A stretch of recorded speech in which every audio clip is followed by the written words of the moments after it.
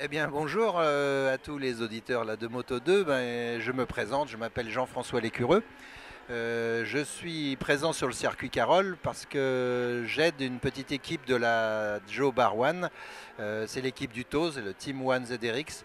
Euh, je suis passionné de moto puisque pendant 10 ans, de, 74 à 83, j'ai couru en moto moi-même de 125, 250, 500, les 750. J'ai gagné le bol d'argent. Je suis champion de France d'endurance en 81.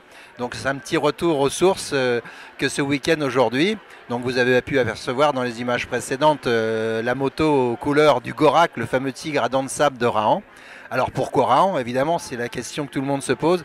Eh bien tout simplement parce que je suis euh, le fils de Roger Lécureux, qui hélas nous a quittés aujourd'hui, mais qui était l'inventeur du fameux personnage euh, préhistorique, Rahan, l'homme aux cheveux de feu, le fils de Krao.